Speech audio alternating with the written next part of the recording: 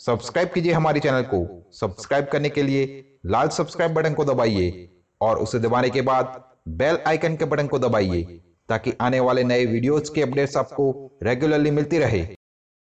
दोस्तों, आषाढ़ मास की अमावस्या इस साल 2 जुलाई को आ रही है। इस अमावस्या को हल हारिणी अमावस्या के नाम से भी जाना जाता है। इस बार ये अमावस्या मंगलवार के दिन आ रही है। इस दिन सूर्य ग्रहण भी लग रहा है।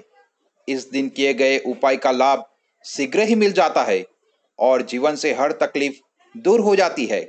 इसलिए आप आषाढ़ मास की अमावस्या के दिन यहाँ बताए गए उपायों को ज़रूर करें।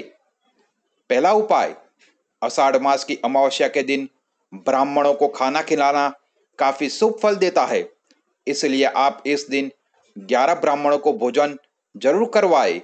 इसके अलावा अषाढ़ मास की अमावस्या को पितृ की तिथि भी माना गया है और इस दिन भोजन को धूप या अगरबत्ती देना और कौवे को भोजन करवाना फलदायक लाभ देता है और पितृ से भी हमें आशीर्वाद मिलता है। दूसरा उपाय, इस दिन मंदिर के बाहर बैठे गरीब लोगों को खाना खिलाने से पाप एकदम समाप्त हो जाते हैं और पुण्य की प्राप्ति होती है। आप इस दिन सुबह स्नान करके ताज़ा भोजन बनाए और इस भोजन का मंदिर में जाकर भोग लगाए और फिर इस खाने को गरीब लोगों के बीच बांट दे। तीसरा उपाय अषाढ़ मास की अमावस्या के दिन आप तालाब या नदी में जाकर आटे की गोलियाँ मछलियों को खिला दे। यह उपाय करने से आपके जीवन की सभी परेशानियाँ खत्म हो जाएगी। चौथा उपाय, इस दिन घर में घी का दीपक जलाना काफ़ी शुभ माना जाता है और ऐसा करने से घर में शांति बनी रहती है। आप आषाढ़ मास की अमावस्या की शाम अपने घर के ईशान कोण में घी का दीपक जला दे। इस दीपक में आप रुई की जगह लाल रंग के धागे का इस्तेमाल करें और इस दीपक के अंदर काली मिर्च भी डाल दे। यह उपाय करने से आपके जीवन में धन की प्राप्ति होगी। पांचवा उपाय, अमावस्या के दिन स्नान करने वाले पानी के अंदर थोड़ा सा गंगा जल मिला दे और इस पानी से स्नान करे। इसके अलावा आप इस दिन किसी पवित्र नदी में डुबकी भी लगा सकते हैं।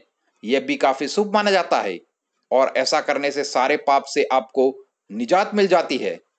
छठा उपाय, आषाढ़ मास की अमावस्या के दिन आप चीटियों को शक्कर या गुड़ खिला दे।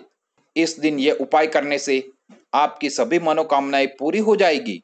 और आपका हर कार्य सफल हो जाएगा। सातवां उपाय अषाढ़ मास अमावस्या के दिन हनुमान जी के मंदिर में जाकर वहाँ पर हनुमान जी को चोला चढ़ा दे और फिर हनुमान चालीसा का पाठ करें। हनुमान चालीसा का पाठ करने के बाद आप हनुमान जी की मूर्ति के सामने एक चमेली के तेल का दीपक जला दे और दीपक जलाकर अपने मन में मनोकामनाएँ बोल दे। हनुमान जी आपकी सभी मनोकामनाएँ तुरंत ही पूरी कर देंगे।